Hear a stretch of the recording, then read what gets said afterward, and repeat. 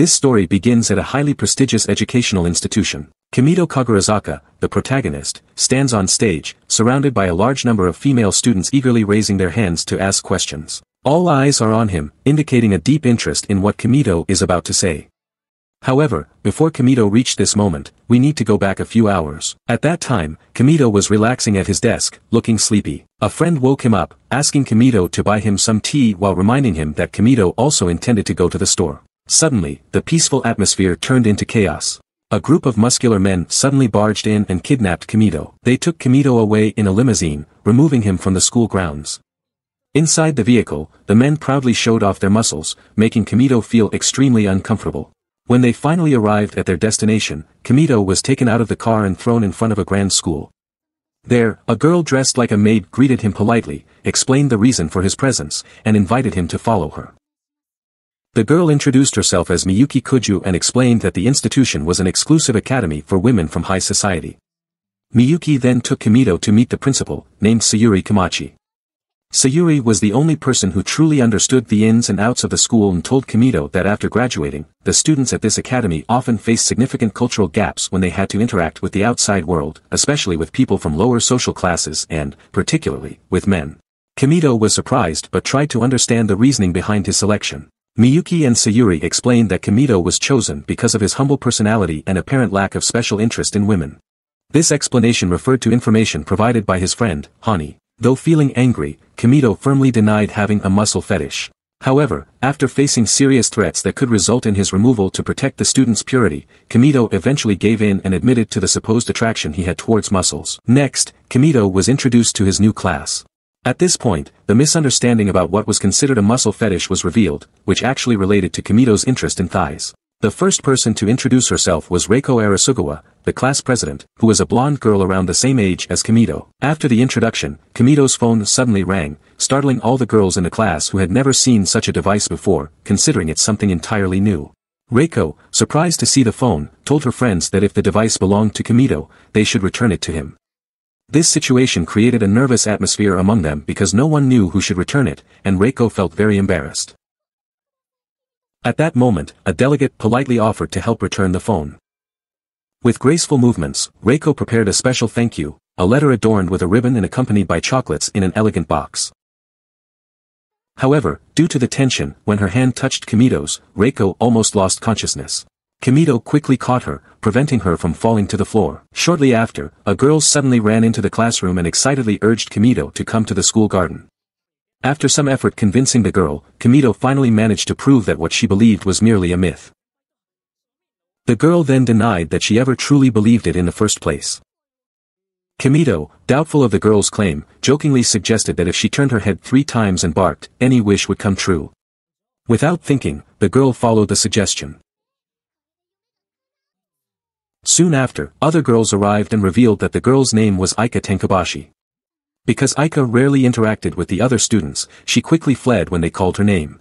After that incident, Miyuki showed Kimito his living quarters at the academy, including his private room, which was a replica of Kimito's original room. When Kimito saw the room decorated with thigh posters, he immediately panicked and hurried to remove the posters to avoid any misunderstandings. Miyuki then explained that from that point on, she would be Kimito's personal maid, just like every student at the academy who has their own maid.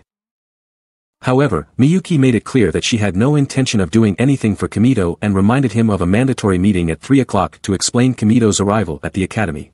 As soon as Miyuki left and closed the door, Aika entered with an angry expression, feeling disappointed that Kimito didn't fulfill her wish.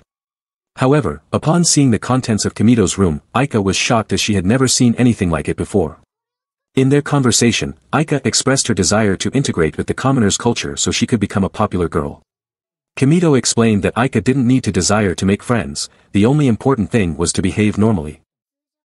And explained that as someone who is straightforward and often unfiltered, she fears that others might not like her.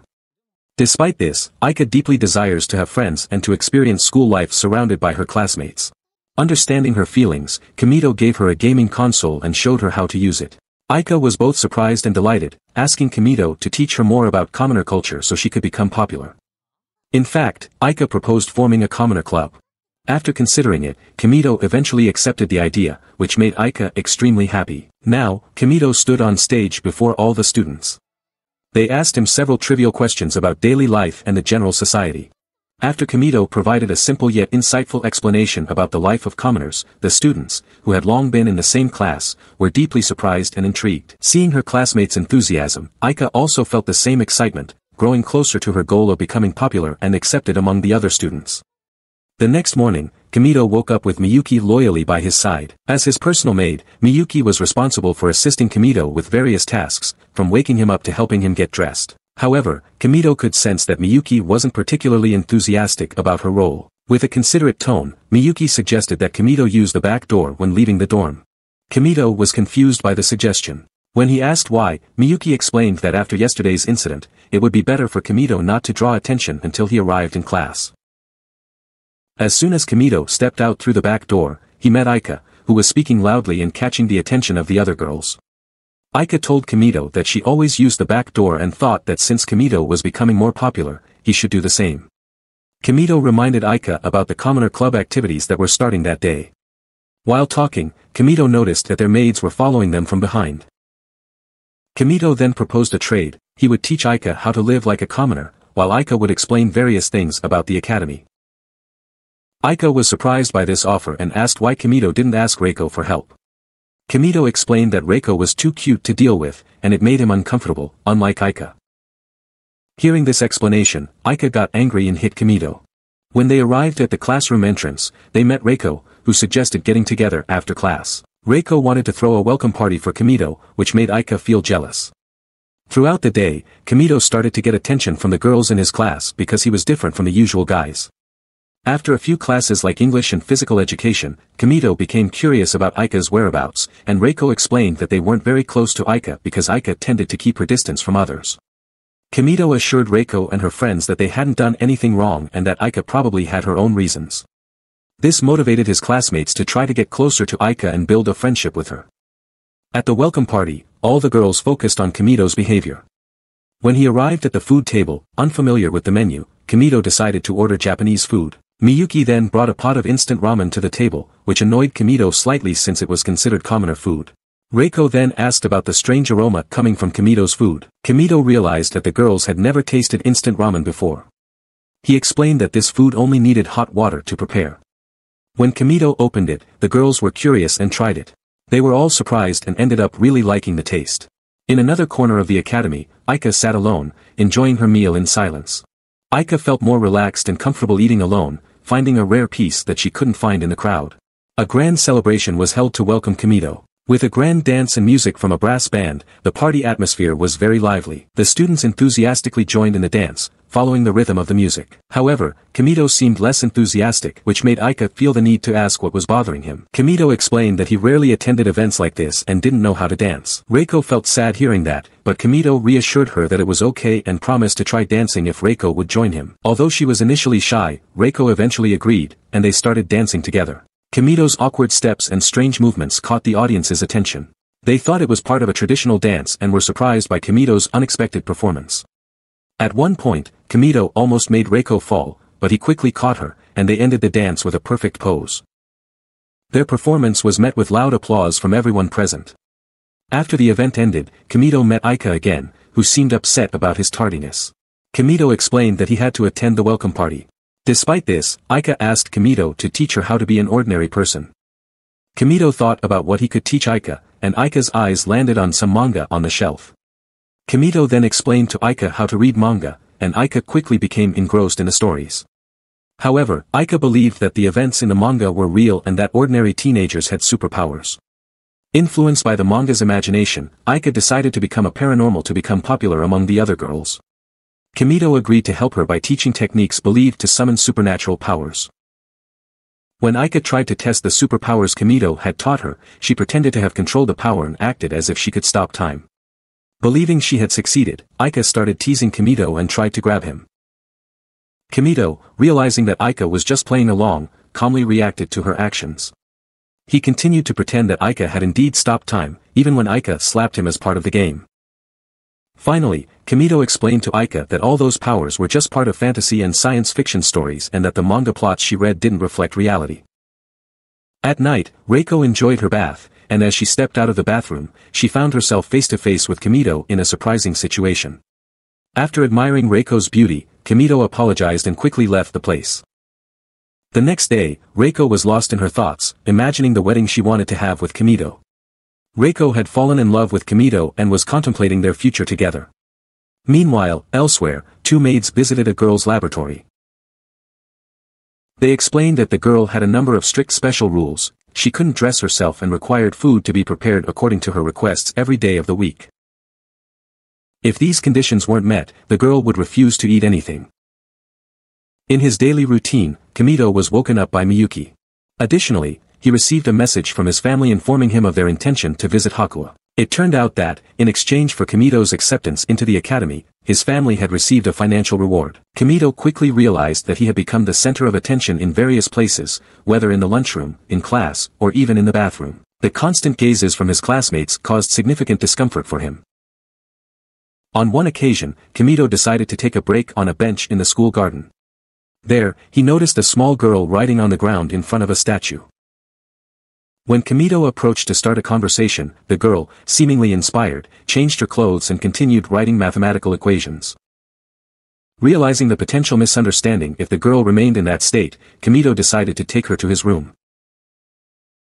After briefly discussing the girl's behavior, Kamito asked her to put on some clothes. The little girl, who introduced herself as Hakua Shiodome, explained that she couldn't dress herself. Kamito then helped Hakua get dressed, and they introduced themselves to each other. Kamito asked Hakua if she didn't recognize him from the commoner's orientation meeting on the day he arrived at the academy. Hakua replied that she didn't attend the meeting because she was in her laboratory. Later, Hakua's stomach growled, and Kamito decided to cook some special ramen for her. Although she was initially hesitant, Hakua eventually agreed to try the dish and liked it after tasting it. After eating, Hakua fell asleep. When Kamito gently tried to wake her, Hakua suddenly got inspired and started writing equations on Kamito's desk while undressing again. At that moment, Aika entered the room and saw Kamito holding the little girl, who wasn't wearing pants. Aika misunderstood the situation, especially since Kamito was holding the girl's clothing. In the afternoon, Kamito accompanied Hakua and suggested that she learn to dress herself. They eventually arrived at Hakua's laboratory. After Kamito explained what had happened to Hakua, Hakua's assistant revealed that Hakua is a genius. They need to document every moment of Hakua's inspiration with photos because her involvement in the field of mathematics is crucial for many companies around the world. After the conversation, Hakua's assistant mentioned that they would prepare food for Hakua. However, Kamito quickly responded that it wasn't necessary because he had already prepared a meal for the girl. Kamito's decision surprised the assistant, considering Hakua had consumed something not included in her usual favorite foods. After finishing this discussion, Kamito intended to leave. However, Hakua stopped him by holding onto his sleeve and begged him to stay. Kamito explained that Hakua could visit him anytime she wanted before finally leaving the place. Hakua's assistant then discussed with their colleagues about the change in the girl's attitude towards Kamito. They revealed that although Hakua seemed like a little girl, she was actually 14 years old.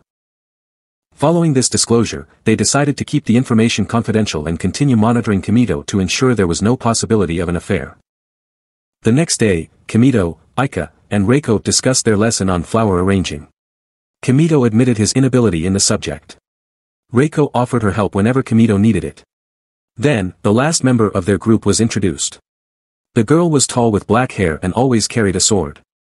Despite having a flaw, her demeanor remained steadfast. When she saw an insect, the girl showed fear and tried to get rid of it with her sword. This action, in the eyes of the other girls, seemed like an attack on Kamito. Although the girl with black hair tried to explain that she didn't intend to attack Kamito, she continued to pretend and started calling him an insect and threatening him. The girl introduced herself as Karen Jinryo and began attacking Kamito. After dodging several of her attacks, Kamito made Karen angry. Karen then performed a wind vortex technique that had no effect on Kamito but sliced the uniforms of the surrounding girls, leaving them with only torn clothes. Shortly after the embarrassing incident, Kamito's clothes were torn, leaving him with only his simple outfit. This event caused embarrassment among all the present girls and led to Karen constantly mocking Kamito as a strange man. Facing Karen's stubbornness, Kamito decided to stop the verbal attacks more assertively. Unfortunately, this confrontation led to a situation where Kamito lost his clothes, as his pants were also cut. After this strange meeting, Karen asked about the commoner's powers, which Kamito humbly answered, claiming that he was the weakest. Doubting Kamito's swordsmanship skills, Karen took the opportunity to challenge him to a rematch. However, in this fight, her clothes were also cut, leaving only her basic outfit. Confident in the clear difference in strength, Karen decided to become Kamito's apprentice. In the school corridor, the girls watched Kamito, who had now successfully turned Karen into his assistant. In a room, Aika shared her plan with Kamito to host a party to boost his popularity in class. Kamito thought the plan was good but reminded her that they would need many phone calls to invite their friends to the event. At that moment, Hakua suddenly appeared and offered to help make the phone calls in her lab. Aika, noticing the closeness between Hakua and Kamito, felt a bit of jealousy. When Karen entered the room and was surprised to see Hakua in Kamito's embrace, Karen expressed her admiration for the little girl. After a brief conversation, Kamito asked Karen about her presence there. Karen explained, as she had stated before, that she was now Kamito's. They agreed to spend time together until Karen was strong enough to match Kamito. Their conversation was interrupted when Aika asked Kamito why he was nice to everyone except her. Kamito replied that his coldness was due to his tsundere nature. Aika, who seemed a bit jealous, reminded them that they were in the club and suggested that the other two girls leave. Embarrassment was visible on Aika's face, and realizing it, she left the room with a shout before coming back. At the same time, an assistant delivered a much-anticipated package, a phone that Hakua had requested. Now, the two girls were in the room. Aika thanked Hakua and offered to take a photo together. After trying to take a picture of the three of them, Karen shyly asked to be included in the photo as well, though she felt a bit awkward admitting it. The next day, Reiko and some girls invited Kamito to a tea party in her room. However, Aika immediately appeared and firmly reminded Kamito that she could not attend. When the other girls asked Aika's reason, Aika, looking embarrassed, did not provide an answer. Aika then grabbed Kamito's arm and pulled him out of the room. In the hallway, Aika reminded Kamito that they had a club meeting to attend. Kamito said that the plan wasn't very urgent, but he eventually gave in and apologized to Reiko for his absence. In Reiko's room, the girls present began discussing the closeness between Kamito and Aika, commenting on the apparent developing relationship between them. Meanwhile, Kamito and Aika were in the former room, discussing the type of party they would host. Kamito suggested serving umaibo, a snack usually bought by students after class. Aika, who was initially hesitant, eventually felt confident after Kamito's explanation. Meanwhile, Reiko continued chatting with her classmates about the closeness of Kamito and Aika, feeling deep jealousy, especially after one of her friends mentioned that they might be a couple. Feeling deeply disturbed, Reiko eventually let her emotions out, shouting and running out of the room while crying. In class, Kamito noticed Reiko's friends crying and decided to investigate the situation. When Kamito approached Reiko, who was crying on her bed, he asked if they could talk about the issue. Reiko, feeling uncomfortable, said it was difficult to discuss with him. Kamito asked if the issue had anything to do with him. Feeling embarrassed, Reiko opened her room door to avoid further conversation.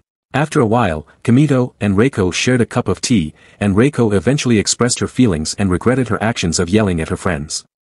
Kamito decided to take steps to resolve the situation. When Kamito returned to his room, Aika was already waiting for him and seemed to know about the situation because she had been keeping an eye on it. Together, they decided to redirect the party they had planned to make Reiko happy. Aika proposed this idea with a bit of reluctance, but Kamito acknowledged Aika's sincerity in her intention to help. After giving her praise, Aika only nodded in understanding before leaving the room shyly. On the day of the party, Kamito gathered all the girls in the class to explain the extracurricular experience they would have, reflecting the life of commoners. At the same time, Reiko entered the classroom with a different appearance from usual. Her elegant look surprised her classmates, who praised her charming dress and hairstyle. Reiko then pulled out her phone and started sending messages, causing one girl's desk to shake and creating tension. Reiko asked all the girls to open their desks, as she would be distributing a mobile app to each of them. After giving a brief explanation about how to use the app, Reiko apologized for her previous bad attitude, especially to Ki, the friend she had clashed with. They reconciled and took a selfie together to celebrate the moment. After the party ended, Reiko expressed her gratitude to Kamito for his efforts in resolving the issues she faced. At that moment, it seemed like Reiko was about to make a proposal, but Kamito explained that the idea for the party was actually Aika's, not his. Kamito clarified that Aika wanted to throw the party to help Reiko, even though Aika preferred helping to celebrating herself. Hearing this explanation, Reiko felt jealous and misunderstood Kamito's intentions. In an emotional state, Reiko ran to Kamito's room, where Aika was waiting for her. When Reiko met Aika, she expressed her hatred, which made Aika feel angry and confused. Aika didn't understand the reason behind the statement, given her hard work to organize the party to mend Reiko's relationship with her friend. Tension escalated, and they started a fierce argument, fighting over Kamito's bed and insulting each other. This confrontation worsened their relationship, creating tension and hostility between them.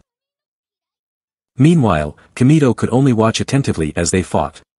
As the situation heated up, Kamito finally decided to intervene. However, his attempt to stop the argument was met with a pillow thrown at his face. The impact caused Kamito to fall, and this action made the two girls fighting worried. They quickly stopped fighting and approached Kamito to check on him.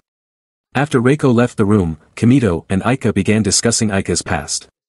In the conversation, it was revealed that Aika used to be similar to her other friends. However, in fourth grade, Aika fell seriously ill with a high fever. When Aika regained consciousness, she felt a change in her mindset, as if some of her memories had disappeared.